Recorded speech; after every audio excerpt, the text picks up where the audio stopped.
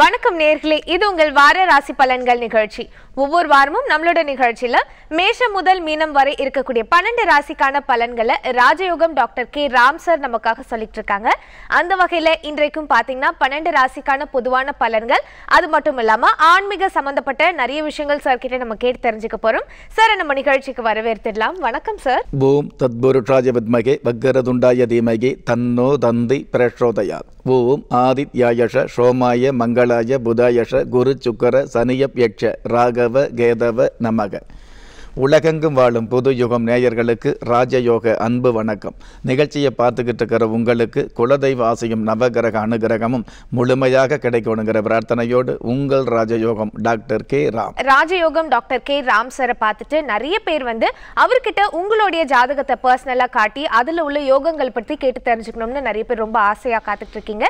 நிச்சயமா சார் கிட்ட தொலைபேசி மூலமாவே உங்களுடைய ஜாதகத்தை பத்தி சொல்லி அதுல உள்ள பலன்களை பத்தி நீங்க கேட்டு தெரிஞ்சுக்கலாம். எப்படி அப்படின்னு பார்த்தீங்கன்னா உங்களுடைய டிவி ஸ்க்ரீனில் இரண்டு நம்பர் வந்து ஸ்க்ரால் ஆகிட்டு இருக்குங்க அந்த இரண்டு நம்பரில் எந்த நம்பருக்கு வேணும்னாலும் நீங்கள் கால் பண்ணி முதலாவது அப்பாயின்மெண்ட் வாங்கணும்.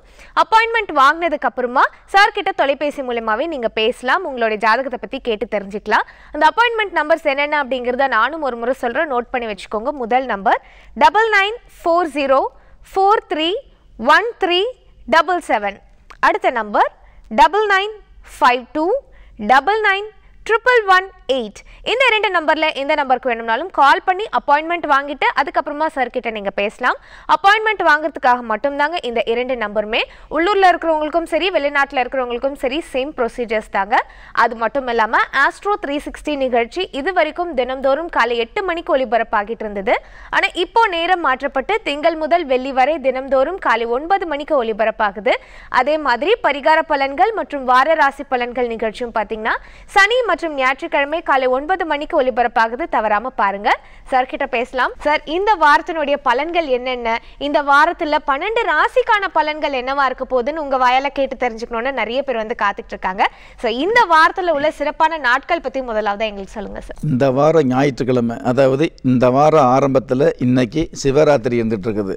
யம பயத்தை போக்கக்கூடிய சிவராத்திரி வழிபாடு எல்லோருக்குமே ஓரளவு நன்மைகள் கொடுக்கக்கூடிய அமைப்பில் தான் இருந்துகிட்டு இருக்கோம்.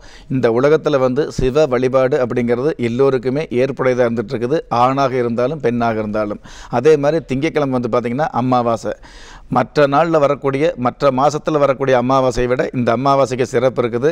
ஏன்னா இந்த அமாவாசை ஆவணி மாதம் வரக்கூடிய அமாவாசைக்கு அடுத்த மூன்று நாள் கழித்து வரக்கூடிய விநாயகர் சதுர்த்தி அப்படிங்கிறது மிக சிறப்பாக இருந்துகிட்ருக்குது. அதனால் இந்த அமாவாசை வந்து சிறப்பான ஒரு அமாவாசையாக எல்லோருமே எதிர்பார்க்க முடியும். அதற்கப்புறம் புதன்கிழமை வந்து பார்த்தோம் அப்படின்னா சுப முகூர்த்த நாளாகவும் இருந்துட்டு இருக்குது மூன்றாம் பிறையாகவும் வந்துட்டு இருக்குது இந்த மூன்றாம் பிறை அப்படிங்கிறது சந்தர தரிசனம் அப்படின்னு காலண்டரில் போட்டிருக்கோம். பொதுவாகவே குடும்பத்தில் வந்து வற்றாத செல்வம் இருக்கணும் அல்லது வறுமை நீங்கணும். அல்லது வருகிற பணம் வந்து நம்ம சேமிப்பு ஆகணும் உங்களுடைய வருமானம் உங்களுக்கு வெகுமானம் அமையணும் அப்படின்னா மூன்றாம் பிற வழிபாடு தொடர்ந்து வச்சுக்கிட்டு இருந்தாலே போதும் மிகப்பெரிய முன்னேற்றங்களை சந்திக்க முடியும். கிராமப்புறங்களில் சொல்லுவாங்க இல்லையா இந்த மூன்றாம் பிறை பார்த்தோம் அப்படின்னா அந்த நா அந்த மாதம் முழுவதும் காசு வந்து குறையாமல் இருக்கும்னு சொல்லுவாங்க. அதனால் மூன்றாம் பிறையை பார்க்கணுங்கிறதுக்காகவே கிராமத்தில் வந்து ஒரு சில பேர் ஆர்வமாகவே இருந்துட்டு இருப்பாங்க. அந்த மூன்றாம் பிறை வந்து புதன்கிழமை வருது சந்தர தரிசனம் அப்படிங்கிற பெயரில். அதுக்கப்புறம் வியாழக்கிழமை சுப முகூர்த்தம் இருக்குது அதுவும் நல்லதான் வளரபர முகூர்த்தம். அதுக்கப்புறம் வெள்ளிக்கிழமை நம்ம எல்லோருமே எதிர்பார்க்குற வருஷத்துக்கு ஒரு முறை வரக்கூடிய விநாயக சதுர்த்தி.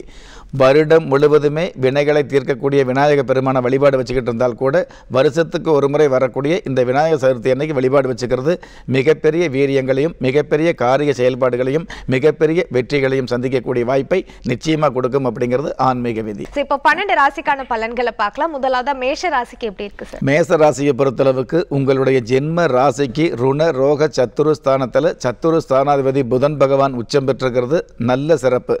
அச்சம் இல்லாத மேன்மைகளை சந்திக்க முடியும். தொழில் ரீதியான வகையில் மிகப்பெரிய சிறப்புகளை சந்திக்க முடியும். எதிர்பாராத லாபங்களை சந்திக்க முடியும். புதிய தொழில் ஆரம்பிக்கக்கூடிய வாய்ப்புகளை வந்து ஒரு சில பேர் அடைய முடியும். குறிப்பாக பெண்கள் சம்பந்தப்பட்ட தொழில்துறையில் உள்ளவர்கள் மிகப்பெரிய மேன்மைகளை சந்திக்க முடியும். அற்புதம் மிகுந்த இந்த வாரத்தில் ஹரியும் சிவனும் ஒன்றே அப்படிங்கிற விஷயத்தை உணர்ந்து செயல்படுவது நல்லதாக இருந்துகிட்டு இருக்கும். பெண்களுக்கு உகந்த ஒரு வாரமா இருக்கும் அப்படின்னு சொல்லியிருக்கீங்க. அடுத்ததா ரிஷப ராசிக்கு எப்படி இருக்கும் சார் ரிஷபராசியை பொறுத்தளவுக்கு உங்களுடைய உங்களுடைய தனஸ்தானாதிபதி குடும்பாதிபதி புதன் பகவான் சுக்கர பகவானோடு சேர்ந்து அதாவது உங்களுடைய ராசி அதிபதி சுக்கர பகவானோடு சேர்ந்து இருக்கிறது அற்புதமான சிறப்பு. குடும்பத்தை பொறுத்தளவுக்கு ஒற்றுமை இருந்துகிட்டு இருக்கும் குதூகலம் இருக்கும் கணவன் மனைவியிடையே அன்பு அரவணைப்பு அந்யோன்யம் அதிகரிக்கும். குடும்பத்தில் வந்து கடன் தொல்லை இருந்துன்னு வைங்களே அந்த கடன் தொல்லையிலிருந்து விடுபடக்கூடிய வாய்ப்புகள் இருந்துகிட்டு இருக்கும் பெண்களுடைய ஆலோசனையால் குடும்ப கௌரவம் அதிகரிக்கும். கடந்த காலங்களில் காணாமல் போன களவு போன பொருள் திரும்ப கிடைக்கக்கூடிய வாய்ப்புகளும் ஒரு சில குடும்பங்களுக்கு அமையும். அற்புதம் மிகுந்த இந்த வாரத்தில் முடியாது என்ற சொல் சாபம். முடியும் என்ற சொல்லே லாபம் என்பதில் உறுதி கொள்வது நல்லது. குடும்பத்துல வந்து ஒற்றுமை நிறைஞ்ச ஒரு வாரமா இருக்கும் அப்படின்னு சொல்லியிருக்கீங்க. அடுத்ததா மிதுன ராசிக்கு எப்படி இருக்கும் சார் மிதுன ராசியை பொறுத்தளவுக்கு உங்களுடைய ஜென்ம ராசிக்கு தனஸ்தானாதிபதி தனஸ்தானத்திலேயே ஆட்சி பெற்றிருக்கிறது. அற்புதமான சிறப்பு. மன மகிழ்ச்சி அதிகரிக்கும். மனோ தைரியம் மிகுதியாகும். எந்த ஒரு விஷயமாக இருந்தாலும் தொழிலாக இருந்தாலும் வியாபாரமாக இருந்தாலும் அதில் வந்து லாபங்கள் அதிகரிக்கும். உங்களுடைய பக்குவமான பேச்சுகளால் பண வரவுகளை ஈர்க்க முடியும்.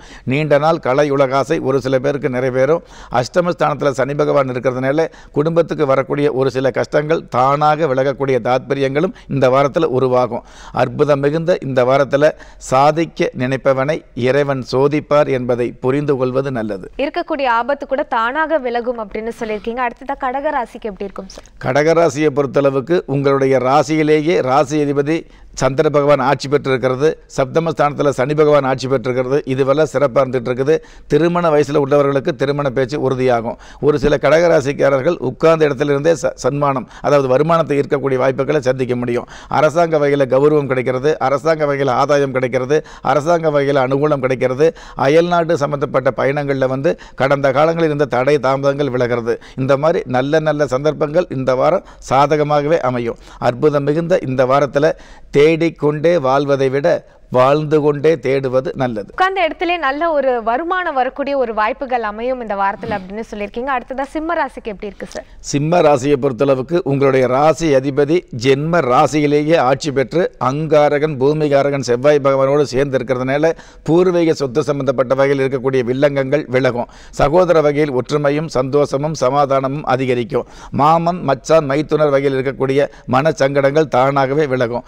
பஞ்சமஸ்தானாதிபதி குரு பகவானும் ஏழாம் இடத்துல இருக்கிறதுனால பிள்ளைகள் வகையில் இருக்கக்கூடிய தொல்லைகள் ஓரளவு குறையும். குடும்பத்தில் தடைப்பட்ட சுபகாரியங்கள் நடந்தேறக்கூடிய வாய்ப்புகள் அதிகரிக்கும். அற்புதம் மிகுந்த இந்த வாரத்தில் விடியாத இரவும் இல்லை முடியாத துயரமும் இல்லை என்பதை உணர்ந்து செயல்படுவது நல்லது. பூர்வீக சொத்துல இருக்கக்கூடிய பிரச்சனைகள் விலகக்கூடிய வாரமா இருக்கும்னு சொல்லியிருக்கீங்க. அடுத்ததா கன்னி ராசிக்கு எப்படி இருக்கு சார் கன்னிராசியை பொறுத்தளவுக்கு அதாவது இந்த வார ஆரம்பத்தில் உங்களுடைய ஜென்ம ராசியிலேயே ராசி அதிபதி புதன் பகவானும் சுக்கர பகவானும் சேர்ந்து அந்த புதன் பகவான் உச்சம் பெற பெற்று அதே புதன் பகவான் சுக்கர பகவானோடு சேரும் பொழுது புத சுக்கர யோகத்தோடு இருக்கிறதுனால எடுத்த காரியத்தில் தொடுத்த வெற்றிகளை அடுத்தடுத்து சந்திக்க முடியும். யோசித்து செயல்பட்டால் நல்லதுன்னு நினைக்கிறோம். யோசிக்காமல் முன்பின் யோசிக்காமல் செயல்படக்கூடிய காரியங்களில் கூட முன்னேற்றம் கிடைக்கக்கூடிய வாரமாக இந்த வாரம் வந்துட்டு இருக்குது. சுகஸ்தானாதிபதி குரு பகவானும் ஆறாம் இடத்துல இருக்கிறதுனால எதிர்ப்பு சம்பந்தப்பட்ட விஷயங்களில் ஏற்றம் கிடைக்கும். பொது பொதுவாகவே எதிர்ப்பு அப்படின்னா கவலை இருந்துட்டு இருக்கும் இல்லையா? பயம் வந்துட்டு இருக்கும். ஆனால் அந்த எதிர்ப்புகள் மூலமாகவே லாபங்கள் கிடைக்கக்கூடிய சிறப்புகள் கிடைக்கக்கூடிய கௌரவம் கிடைக்கக்கூடிய பெருமைகள் சேரக்கூடிய வாரமாக தான் இந்த வாரம் அமையுது. ஏருக்கு மாறான சூழ்நிலைகளில் கூட யதார்த்தமான முன்னேற்றங்களை சந்திக்கக்கூடிய வாரம் தான் கன்னிராசிக்கு இந்த வாரம் அமையுது. அற்புதம் மிகுந்த இந்த வாரத்தில் வடியாத வெள்ளமும் இல்லை வாடாத பூக்களும் இல்லை என்பதை உணர்ந்து கொள்வது நல்லது. சார் அடுத்ததாக துலாம் ராசிக்கு எப்படி இருக்கும் சார்? துலாம் ராசியை பொறுத்தளவுக்கு உங்களுடைய ஜென்ம ராசிக்கு பத்தாம் இடத்துல சந்திர பகவான் ஆட்சி பெற்றிருக்கிறதுனால பட்டம் பதவி கௌரவம் க அரசாங்க வகையில் வந்து சன்மானம் கிடைக்கக்கூடியது. இந்த மாதிரி நல்ல நல்ல நிகழ்வுகள் இந்த வாரம் முழுவதுமே நடந்தேறும். சுகஸ்தானத்தில் சனி பகவான் இருக்கிறதுனால உடல் ரீதியான சின்ன சின்ன தொந்தரவு வந்து போகும். இருந்தாலும் லாபஸ்தானாதிபதி சூரிய பகவான் ஆட்சி பெற்றிருக்கிறதுனால தொழிலாக இருந்தாலும் வியாபாரமாக இருந்தாலும் எந்த ஒரு விஷயத்திலும் லாபம் அப்படிங்கிற விஷயத்தை நிச்சயமாக சந்திக்க முடியும். உடல் ரீதியான வகையில் க்ஷேமங்களும் ஓரளவு கிடைக்கக்கூடிய பாக்கியங்கள் இருந்துகிட்டு இருக்கும். பஞ்சமஸ்தானத்தில் குரு பகவான் இருக்கிறதுனால பிள்ளைகள் சம்பந்தப்பட்ட வகையில் கல்வி சம்பந்தப்பட்ட வகையில் குறிப்பாக பிள்ளைகளுடைய கையில் இருக்கக்கூடிய கைபேசி சம்பந்தப்பட்ட விஷயங்களில் கொஞ்சம் கவனமாக இருக்கிறது நல்லதாக இருந்துக்கிட்டு இருக்கும். அற்புதம் மிகுந்த இந்த வாரத்தில் வாழ்க்கையில் வந்த கஷ்டங்களை விட தவறவிட்ட சந்தோஷங்களே அதிகம் என்பதை புரிந்து கொள்வது நல்லது. பிள்ளைங்களோட விஷயத்துல கொஞ்சம் கவனமா இருக்கணும் அப்படின்னு சொல்லியிருக்கீங்க. அடுத்ததா விருச்சக ராசிக்கு எப்படி இருக்கும் சார்? விருச்சிக ராசியை பொறுத்தளவுக்கு உங்களுடைய ஜென்ம ராசிக்கு பாக்கியஸ்தானத்தில் சந்திர பகவான் இருக்கிறதுனால மன மகிழ்ச்சி மனோதைரியம் அதிகரிக்கும். பெண்களுடைய மனசில் ஆள் மனசில் வந்து இனம் புரியாத தைரியம் வந்துட்டு இருக்கும் அழகு சம்பந்தப்பட்ட அழகு சாதனம் சம்பந்தப்பட்ட அழகு நிலையம் சம்பந்தப்பட்ட விற்பனையில் உள்ளவர்களுக்கு தொழில்துறையில் உள்ளவர்களுக்கு நல்ல லாபங்கள் பெரிய பெரிய ஒரு கஸ்டமர் கிடைக்கக்கூடிய மிகப்பெரிய அமைப்பு இந்த வாரம் வந்துட்டு இருக்கோம் திடீர் வருமானம் திடீர் சம்பத்துக்கள் சேரக்கூடிய திடீர் அதிர்ஷ்டம் கிடைக்கக்கூடிய வாரமாகவும் இந்த வாரம் வந்துட்டு இருக்குது பத்தாம் இடத்துல சூரிய பகவான் இருக்கிறதுனால அரசாங்க உத்தியோகத்திற்காக கடந்த காலங்களில் முயற்சி செஞ்சவங்க அது நல்ல மகிழ்ச்சியான செய்தியை இந்த வாரத்தில் சந்திக்க முடியும். உப ஜெய லாபஸ்தானத்தில் சுக்கர பகவான் நீச்சம் பெற்றிருந்தால் கூட நீச்சம் பெற்ற அந்த சுக்கர பகவான் வந்து நீச்ச பங்க ராஜயோகத்தோடு இருக்கிறதுனால பெண்களுக்கு மிகப்பெரிய வெகுமானம் கிடைக்கக்கூடிய வாரமாகவும் ஒரு சில பெண்களுக்கு ஆண்களுக்கு மேலே வருமானம் கிடைக்கக்கூடிய பதவிகள் அமையக்கூடிய வாரமாகவும் இந்த வாரம் அமையும். நல்ல பதவிகள் கிடைக்கக்கூடிய இந்த வாரத்தில் வீண் அலைச்சல் அல்லது வீண் விரயங்களை தவிர்ப்பது நல்லது. திடீர் வருமானம் திடீர் முன்னேற்றம் கிடைக்கக்கூடிய ஒரு வாரமா இருக்கும் அப்படின்னு சொல்லியிருக்கீங்க. அடுத்ததா தனுசு ராசிக்கு எப்படி இருக்கு சார்? தனுசு ராசியை பொறுத்தளவுக்கு வார ஆரம்பத்தில் வந்து சந்திராசிரமம் அப்படிங்கிற விஷயத்தை எடுத்துகிட்டு இருக்கலாம். நான் பல முறை நிகழ்ச்சியில் சொல்லியிருக்கிறேன். உங்களுடைய எந்த ஒரு ராசிக்கும் ஜென்ம ராசிக்கு எட்டாம் இடத்துல சந்திர பகவான் இருக்கும் பொழுது சந்திராசிரமம் சாஸ்திரம் சொல்லியிருக்கு. ஆனால் உங்களுடைய தனுசு ராசிக்கு எட்டாம் இடங்கிறது கடக ராசியாக இருந்து அந்த கடக ராசியில் சந்திர பகவான் ஆட்சி பெற்றிருக்கிறதுனால கடக ராசிக்கு அதிபதியே சந்திர பகவானாக இருக்கிறதுனால இந்த சந்திராசிரமம் பாதிக்காது மிகப்பெரிய நன்மைகளை கொடுத்துட்டு இருப்பார். உங்களுடைய முயற்சி அப்படிங்கிறத விட உங்களுடைய வீட்டில் இருக்கக்கூடிய பெண்கள் மூலமாக மிகப்பெரிய முன்னேற்றங்களை இந்த வாரம் முழுவதும் சந்திக்க முடியும். ஜீவன ஸ்தானத்தில் வித்தைக்கு அதிபதி புதன் பகவான் உச்சம் பெற்றிருக்கிறதுனால நீங்கள் கடந்த காலங்களில் கற்றுக்கிட்ட வித்தைகள் மூலமாக அல்லது கடந்த காலங்களில் கற்றுக்கிட்ட தோல்விகள் மூலமாக கூட மிகப்பெரிய வெற்றிகளை தொட்டு பார்க்க முடியும். விளையாட்டுத் துறையில் உள்ளவர்களுக்கு வெகுமானம் அதிகரிக்கும். நீண்ட நாள் அரசியல் ஆசை ஒரு சில பேருக்கு நிறைவேறும் குறிப்பாக அரசாங்க உத்தியோகத்தில் ஆசிரியர் துறையில் உள்ளவர்களுக்கு மிகப்பெரிய கௌரவம் வந்து சேரும். அற்புதம் மிகுந்த இந்த வாரத்தில் தட்டி போன அதாவது கடந்த காலங்களில் தட்டி போன வாய்ப்புகளை எட்டி பிடிப்பது நல்லது. ஸோ கவர்மெண்ட் டீச்சர்ஸ்க்குலாம் வந்து நல்ல ஒரு உகந்த வாரமா இருக்கும் அப்படின்னு சொல்லியிருக்கீங்க. அடுத்ததா மகர ராசிக்கு எப்படி இருக்கும் சார் மகர ராசியை பொறுத்தளவுக்கு உங்களுடைய ஜென்ம ராசிக்கு ஏழாம் இடத்துல கலஸ்தர ஸ்தானத்தில் சந்திர பகவான் ஆட்சி பெற்று இருக்கிறதுனால திருமண வயசில் உள்ளவங்களுக்கும் திருமண வயசை கடந்தவர்களுக்கும் திருமண பேச்சு உறுதியாகும். காதல் சம்பந்தப்பட்ட லீலையில் உள்ளவர்களுக்கு கூட உண்மையான காதலை புரிந்து கொள்ளக்கூடிய ஒரு சந்தர்ப்பங்களும் உங்களுடைய உண்மையான காதலுக்கு நன்மையான பெத்தவங்க சம்மதம் கிடைக்கக்கூடிய வாய்ப்புகளும் இந்த வாரம் அதிகரிக்கும். அஷ்டமஸ்தானத்தில் சூரிய பகவான் இருக்கிறதுனால விவசாய சம்பந்தப்பட்ட துறையில் உள்ளவர்களுக்கு அலைச்சல் அதிகரிக்கும். ஆனால் என்னதான் அலைச்சல் இருந்தாலும் அந்த அலைச்சலுக்கு மேலான விளைச்சல் கிடைக்கக்கூடிய பாக்கியங்களும் இந்த வாரம் அதிகரிக்கும். குடும்பஸ்தானத்தில் குரு பகவான் இருக்கிறதுனால கணவன் மனைவி இருவருமே மகிழ்வான நிகழ்வுகளில் கலந்து கொள்ளக்கூடிய பாக்கியங்கள் அதிகரிக்கும். எதிர்கால திட்டங்களை ஒற்றுமையோடு குறிப்பாக கணவன் மனைவி ஒற்றுமையோடு எதிர்கால திட்டங்களை தீட்டக்கூடிய வாய்ப்புகளும் இந்த வாரம் அரங்கேறும். அற்புதம் மிகுந்த இந்த வாரத்தில் எண்ணங்களை சம்பவமாக்குவதுதான் அரசியல் என்பதை புரிந்து கொள்வது நல்லது. திருமணம் சம்பந்தப்பட்ட பேச்சுகள் வந்து உறுதியாகக்கூடிய ஒரு வாய்ப்புகள் இருக்கு இந்த வாரத்தில் அப்படின்னு சொல்லியிருக்கீங்க. அடுத்ததாக கும்பராசிக்கு எப்படி இருக்கு சார்? கும்ப ராசியை பொறுத்தளவுக்கு உங்களுடைய ஜென்ம ராசியிலேயே குரு பகவான் இருக்கிறது அற்புதமான சிறப்பு. ராசிக்கு ஆறாம் இடத்துல சந்திர பகவான் மறைந்து இருந்தால் கூட ஆட்சி பெற்று இருக்கிறதுனால நிறைந்த பலன்களை கொடுக்கக்கூடிய வாய்ப்புகள் இருந்துகிட்டு இருக்குது. தாயார் வழி உறவுகள் மூலமாக உங்களுடைய தகுதிகள் மிகுதியாகும். தகப்பனார் வழி உறவுகள் மூலமாக புதிய சொத்துக்கள் கிடைக்கக்கூடிய அல்லது பரம்பரை சொத்துக்கள் மூலமாக உங்களுக்கு கௌரவம் வருமானம் அதிகரிக்கக்கூடிய வாய்ப்புகள் இருந்துகிட்டு இருக்கும்.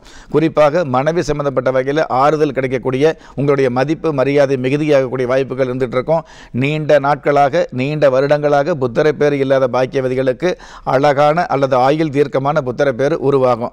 அஷ்டமஸ்தானத்தில் புதன் பகவான் ஆட்சி பெற்றிருக்கிறதுனால தொழில் மற்றும் வியாபார ரீதியான வகையில் இது நாள் வரையில் இருக்கக்கூடிய போட்டி பொறாமைகள் ஓரளவு குறையும். அற்புதம் மிகுந்த இந்த வாரத்தில் இன்றைய உழைப்பின் வழிதான் நாளைய வாழ்க்கையின் ஒளி அப்படிங்கிற விஷயத்தை புரிஞ்சுக்கிறது நல்லது. குடும்பத்துக்குள்ள வந்து பாத்தீங்கன்னா நல்ல சந்தோஷம் நிறைஞ்சிருக்கும் அப்படின்னு சொல்லியிருக்கீங்க. அடுத்ததா மீன ராசிக்கு எப்படி இருக்கு சார்? மீன ராசியை பொறுத்தளவுக்கு உங்களுடைய ஜென்ம ராசிக்கு ஏழாம் இடத்துல கலஸ்தர ஸ்தானத்தில் புதனும் சுக்கரனும் சேர்ந்து புத சுக்கர யோகத்தோடு இருக்கிறது அற்புதமான சிறப்பு. பொதுவாகவே புத சுக்கர யோகம் இருந்ததுன்னு வைங்களே அதாவது பொன் சேர்வது புகழ் சேர்வது பொருள் சேர்வது இருக்கிற சொத்தை வந்து தற்காத்துக்கிறது.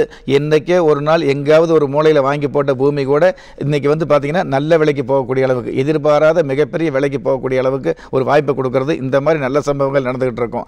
அஞ்சாம் இடத்துல சந்திர பகவான் இருக்கிறதுனால பெண் குழந்தைகள் மூலமாக பெருவாரியான மதிப்பு கிடைக்கக்கூடிய இருக்கக்கூடிய தனக்கு ஆண் குழந்தை இல்லையே அப்படின்னு கவலைப்பட்டவங்க கூட அங்கலாப்பட்டவங்க கூட பெண் குழந்தை பிறந்ததுனால இந்த பொண்ணே ஆணுக்கு மேலே மிகப்பெரிய ஒரு பெ- பெருமையை தேடி கொடுத்தது மிகப்பெரிய மதிப்பை தேடி கொடுத்தது மிகப்பெரிய கௌரவத்தை தேடி கொடுத்துங்கிற அளவுக்கு உங்கள் குடும்பத்தில் நல்ல நிகழ்வுகள் நடந்தேறும். லாபஸ்தானத்தில் சனி பகவான் இருக்கிறதுனால இரும்பு சம்பந்தப்பட்ட ஆடிட்டிங் சம்பந்தப்பட்ட அரசியல் சம்பந்தப்பட்ட துறையில் உள்ளவர்களுக்கு அங்கொன்றும் இங்கொன்றுமாக நன்மைகளும் திடீர் பிரபல்யங்களும் அதிகரிக்கும். அற்புதம் மிகுந்த இந்த வாரத்தில் கால புருஷ தத்துவத்தை கடைபிடிச்சு நடப்பது நல்லது. திடீர் பிரபல்யம் வரக்கூடிய ஒரு வாரமாக இருக்கும் அப்படின்னு சொல்லியிருக்கீங்க. ஸோ பன்னெண்டு ராசிக்கான பலன்களை உங்ககிட்ட இருந்து கேட்டு தெரிஞ்சுக்கிட்டதுல எங்களுக்கு ரொம்ப ரொம்ப சந்தோஷம் சார் இப்போ வந்து பார்த்திங்கன்னா ஆன்மீகம் சார்ந்த ஒரு பொதுவான கேள்வி கேட்கணும் அப்படின்னு சொல்லி ஆசைப்படுறேன் சார் ஏன்னா ஒவ்வொரு வாரமும் நீங்கள் சொல்கிற இந்த மாதிரியான சந்தேகங்களுக்கு நீங்கள் சொல்லக்கூடிய விளக்கங்கள் பார்த்தீங்கன்னா ரொம்ப ரொம்ப பயனுள்ளதாக அமைஞ்சுக்கிட்டு இருக்கு எங்களுக்கு. ஸோ அந்த வகையில் இந்த வாரம் பார்த்தீங்கன்னா வந்து விநாயகர் சதுர்த்தி இருக்குது சார் விநாயகருக்கு வந்து என்னதான் கல்யாணம் ஆகலைன்னா கூட ஆனால் அவர் அவர்கிட்ட பிரார்த்தனை வச்சுக்கிட்டா நிறைய கல்யாணம் நடக்கும் அப்படிங்கிறது கேள்விப்பட்டிருக்கோம். ஸோ இந்த வாரம் வரக்கூடிய விநாயகர் சதுர்த்தியில ஏதாவது பிரார்த்தனைகள் வச்சுக்கிட்டோம்னா திருமணம் தடைப்பட்டிருந்தா கூட அது நடக்குங்களா? என்ன மாதிரியான பிரார்த்தனை வச்சுக்கலாம்? அதை பத்தி சொல்லுங்க சார் கல்யாணமே ஆகாத தெய்வமாக இருந்தால் கூட நம்முடைய கல்யாணத்திற்காக முதல் முதல்ல வேண்டுவது அல்லது கல்யாணம் நிச்சயமானதுக்கப்புறம் முதல் பத்திரிக்கை விநாயகருக்கு வைக்க சொல்லி சாஸ்திரம் சொல்லி வச்சுருக்குது. விநாயகருக்கு கல்யாணம் ஆகலை அப்படிங்கிறது எல்லோருக்கும் தெரிந்த பொதுவான விஷயம். விநாயகருக்கு ஏன் கல்யாணம் ஆகலை அப்படிங்கிறது புராண காலங்களில் நூற்றி எட்டு காரணங்களை சொல்லியிருந்தாலும் என்னுடைய ஆராய்ச்சிப்படி அதாவது வினைகளை தீர்க்கக்கூடிய விநாயக பெருமானுடைய ஜாதகத்தில் கலஸ்தரக்காரகன் சுக்கர பகவான் நீச்சம் பெற்றிருக்கிறதுனால விநாயகருக்கு கல்யாணம் ஆகலை அப்படிங்கிற ஒரு ஆராய்ச்சியை நம்ம தெரிஞ்சுக்க முடியும். அதே சமயம் முருகப்பெருமானுக்கு வந்து பார்த்தீங்கன்னா இரண்டு கல்யாணம் நடக்கக்கூடிய இருதார யோகத்தை ஏன் கொடுத்ததுன்னு பார்க்கும் பொழுது முருகப்பெருமானுடைய ஜாதகத்தில் இதே கலஸ்தரகாரகன் சுக்கர பகவான் உச்சம் பெற்றிருக்கிறதுனால இரு அதாவது இரண்டு திருமணங்களை கொடுத்தது அப்படிங்கிற விஷயத்தை நம்ம பொதுவாகவே ஜாதக ரீதியான ஆராய்ச்சியில் தெரிஞ்சுக்கலாம்.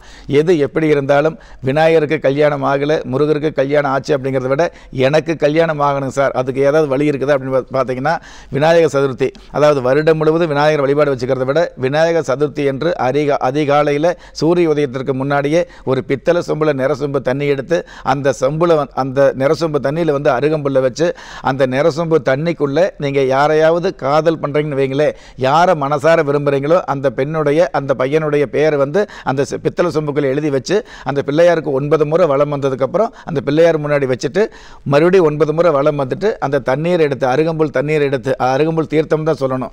அதாவது முதல் முதல்ல பித்தளை சொம்பில் தண்ணீர் வச்சு அருகம்புல் வச்சு அதுக்குள்ளே குறிப்பிட்ட பெயர் எழுதி போட்டதுக்கப்புறம் அது தண்ணீர் தான் சொம்பு தான் அருகம்புல் தான். அதுவே அந்த பிள்ளையாரை நீங்கள் ஒன்பது முறை சுற்றி வந்ததுக்கப்புறம் அந்த தண்ணீர் கூட பன்னீர் அப்படிங்கிறதுக்கு மேலே மிகப்பெரிய புண்ணிய தீர்த்தமாக மாறுது அப்படிங்கிறது பொதுவான விதி.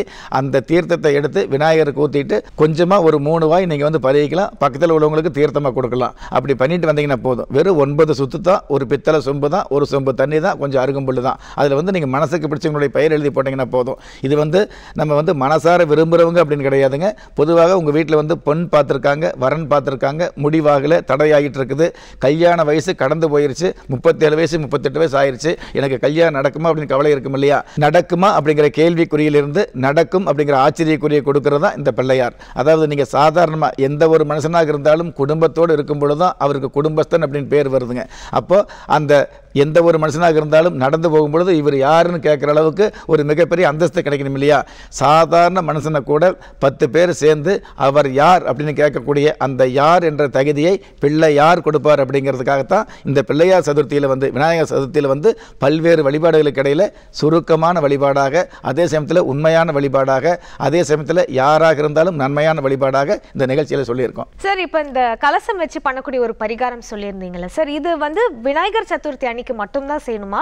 இல்ல மாதம் மாதம் வரக்கூடிய சங்கடகர சதுர்த்தி அன்னைக்கும் பண்ணலாமா? சங்கடகத சதுர்த்தி அன்னைக்கு பண்ணும் பொழுது உங்களுடைய வாழ்க்கையில் இருக்கக்கூடிய சங்கடங்களை தீர்க்கக்கூடிய ஒரு பிரார்த்தனையாக வேண்டுதலாக இருந்துட்டு இருக்கும்.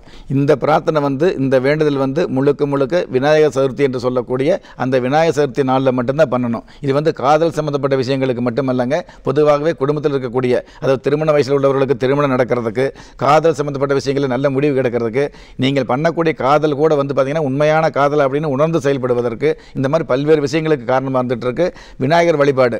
வாழ்க்கையில் வந்து எந்த ஒரு பிரார்த்தனையாக இருந்தாலும் எந்த ஒரு வேண்டுதலாக இருந்தாலும் முதல்ல வந்து பிள்ளையாரை வேண்டிக்கிறோம். அந்த மாதிரி உங்களுடைய வாழ்க்கையில் காதல் சம்மந்தப்பட்ட விஷயமாக இருந்தாலும் கல்யாணம் சம்மந்தப்பட்ட விஷயங்களாக இருந்தாலும் குடும்பம் சம்மந்தப்பட்ட விஷயங்களாக இருந்தாலும் அனைத்து விஷயங்களுக்கும் நீங்கள் நினைத்த மாதிரி நன்மையை சந்திக்கணும் அப்படின்னா இந்த மாதிரி பித்தளை கலசத்தில் வந்து ஒரு சொம்பு தண்ணீர் வச்சு அதில் அருகம்புல் வச்சு அதுக்குள்ளே மனசுக்கு பிடிச்சவனுடைய பெயர் எழுதும்போது குறிப்பிட்ட இந்த விஷயத்துக்கு மட்டும் நிச்சயமான நன்மை கொடுக்குது அப்படிங்கிறது தான் உண்மையான விஷயமா இருந்துட்டு இருக்குது சாதாரண கடன் பிரச்சனை இருக்குது சங்கடம் இருக்குது குடும்பத்தில் வேறு வகையான பிரச்சனை இருந்துட்டு இருக்குது அந்த மாதிரி பல்வேறு பிரச்சனைகளுக்கு உங்களுடைய அடிப்படை ஜாதகத்தை பார்த்து அதற்கு தகுந்த மாதிரி வழிபாடு வச்சுக்கலாம். அல்லது இந்த சங்கடகர சதுர்த்தி வரக்கூடிய நாட்களில் வந்து பொதுவாக வழிபாடு வச்சுக்கும் பொழுது எந்த மனுஷனாக இருந்தாலும் சந்தோஷம் அப்படிங்கிற விஷயத்தை எதிர்பார்க்குற எந்த மனுஷாளுக்கும் சங்கடம் அப்படிங்கிற ஒரு விஷயம் முன்னாடியே வரும். அந்த சங்கடங்களில் இருந்து தற்காத்து கொள்ளக்கூடிய தகுதி சங்கடகர சதுர்த்தி தீனால் இருக்குது அப்படிங்கிறத நம்ம தெரிஞ்சுக்கலாம். பொதுவாக பிள்ளையாருடைய வழிபாடு பிள்ளையாருக்கு சிறப்பு அப்படிங்கிறது சங்கடகர சதுர்த்தி நாளில் பிள்ளையார் வழிபாடு வச்சுக்கிறங்கிறது சிறப்பு. ஆனால் கல்யாணம் காதல் திருமணம் சம்பந்தப்பட்ட விஷயங்களுக்கு குடும்ப வாழ்க்கைக்கு வந்து உடனடியே நிறைவேணும் இப்போ நிறைய பேர் கேட்பாங்க இல்லையா? பத்து நாள் விரதம் பெறு ஒரு மாதம் விரதம் பெறு நாற்பத்தெட்டு நாள் ஒரு மண்டலம் விரதம் பெறு அப்படின்னா அவ்வளவெல்லாம் முடியாதுங்க சார் எனக்கு. உடனே பலன் கிடைக்கிறதுக்கு ஒரு வழி சொல்லுன்னு கேட்பீங்க இல்லையா? அந்த மாதிரி உடனுக்குடன் கைமேல் பலன் கிடைக்கக்கூடிய கணபதி வழிபாடு தான் இந்த நிகழ்ச்சியில் சொல்லியிருக்கோம். ரொம்ப சந்தோஷம் சார் நான் நிறைய பேர் பார்த்தீங்கன்னா வந்து ரொம்ப நாளா திருமணம் ஆகாம இருப்பாங்க. என்ன பரிகாரம் சொன்னாலும் ஐயோ இதுக்கெல்லாம் டைம் எடுக்கும் போல எனக்கு உடனே வேணும் நீங்க சொன்ன மாதிரி சட்டுன்னு ஆகணும் அப்படின்றவங்களுக்குலாம் வந்து ரொம்ப ரொம்ப பயனுள்ள ஒரு பதிலா அமைஞ்சிருக்கும். இன்னைக்கான உங்களுடைய பதில். அதுக்காக ரொம்ப ரொம்ப நன்றி சார் கணங்களுக்கெல்லாம் அதிபதியாக இருக்கக்கூடிய கணபதியுடைய அருள் உங்களுக்கு கிடைக்கணும். அதே மாதிரி வினைகளை தீர்த்து வெற்றிகளை கொடுக்கக்கூடிய விநாயகர் பெருமனுடைய அருளும் உங்களுக்கு கிடைக்கணும் அப்படிங்கிறதுக்காக அதாவது அட்வான்ஸ் விநாயகர் சதுர்த்தி திருநாள் சம்பந்தப்பட்ட வாழ்த்துக்களை முன்னாடியே தெரிவிச்சுக்கிறேங்க. எது எப்படி இருந்தாலும் ஒரு மனுஷனை யார் கைவிட்டாலும் ஆன்மீகம் கைவிடாதுங்கிற என்னுடைய ஆழமான ஆன்மீகத்தையும் பதிவு செய்து அகில உலகத்தில் உள்ள அத்துண தெய்வங்களின் அனுகிரகமும் ஈரேல் உலகத்தில் உள்ள எல்லா சக்திகளின் ஒட்டுமொத்த ஆசீர்வாதங்களும் உலக மக்கள் அனைவருக்குமே கிடைக்க வேண்டிய பிரார்த்தனையோடும் வாழ்த்துக்களோடும். உங்கள் ராஜயோகம் டாக்டர் கே. ராம். ராஜயோகம் டாக்டர் கே. ராம் சார் கிட்ட பாத்தீங்கன்னா நிறைய பேர் உங்களுடைய ஜாதகத்தை காட்டி உங்களுடைய ஜாதகத்துல கல்யாண யோகம் எப்போ இருக்கு? நிறைய பேருக்கு கல்யாணம் ஆகாம இருக்கலாம். ஸோ எப்போ கல்யாண யோகம் இருக்கு? அது மட்டும் இல்லாம வசதி வாய்ப்பு வாழ்க்கையில எப்படி வரும்? எப்போ வரும்? இந்த மாதிரியான சந்தேகம் பத்திலாம் கேட்கணும் அப்படின்னு சொல்லிட்டு ரொம்ப ரொம்ப ஆர்வமா இருப்பீங்க. நிச்சயமா சார் கிட்ட தொலைபேசி மூலியமாவே உங்களுடைய ஜாதகத்தை பத்தி சொல்லி அதுல இருக்கக்கூடிய பலன்களை பத்தி நீங்க கேட்டு தெரிஞ்சுக்கலாம். எப்படி அப்படின்னு பாத்தீங்கன்னா உங்களுடைய டிவி ஸ்கிரீன்ல இரண்டு நம்பர் வந்து ஸ்க்ரால் ஆயிட்டு இருக்குங்க. அந்த இரண்டு நம்பர்ல எந்த நம்பருக்கு வேணும்னாலும் நீங்க கால் பண்ணி முதலாவது அப்பாயின்மெண்ட் வாங்கணும். அப்பாயின்மெண்ட் வாங்கினதுக்கு அப்புறமா சார் கிட்ட உங்களோட ஜாதகத்தை பத்தி கேட்டு தெரிஞ்சுக்கலாம். அந்த அப்பாயின்மெண்ட் நம்பர்ஸ் என்னென்ன அப்படிங்கறத நானும் ஒரு முறை சொல்றேன். நோட் பண்ணி வச்சுக்கோங்க. முதல் number double nine four zero four three one three double seven அடுத்த number double nine five two double nine triple one eight இந்த ரெண்டு நம்பர்ல எந்த நம்பருக்கு வேணும்னாலும் கால் பண்ணி முதலாவது அப்பாயின்மெண்ட் வாங்கணும். அப்பாயின்மெண்ட் வாங்குறதுக்காக மட்டும்தாங்க இந்த இரண்டு நம்பருமே உள்ளூர்ல இருக்கிறவங்களுக்கும் சரி வெளிநாட்டில் இருக்கிறவங்களுக்கும் சரி சேம் ப்ரொசீஜர்ஸ் தாங்க. அது மட்டும் இல்லாம ஆஸ்ட்ரோ த்ரீ சிக்ஸ்டி நிகழ்ச்சி பார்த்தீங்கன்னா இது வரைக்கும் தினம்தோறும் காலை எட்டு மணிக்கு ஒலிபரப்பாகிட்டு இருந்தது. ஆனா இப்போ நேரம் மாற்றப்பட்டு திங்கள் முதல் வெள்ளி வரை தினம்தோறும் காலை ஒன்பது மணிக்கு ஒலிபரப்பாகுது அதே மாதிரி பரிகார பலன்கள் மற்றும் வார ராசி பலன்கள் நிகழ்ச்சியும் சனி மற்றும் ஞாயிற்றுக்கிழமை காலை ஒன்பது மணிக்கு ஒலிபரப்பாகுது தவறாம பாருங்க. மீண்டும் அடுத்த வாரம் நிகழ்ச்சியில சந்திக்கலாம். அதுவரை நன்றி வணக்கம்.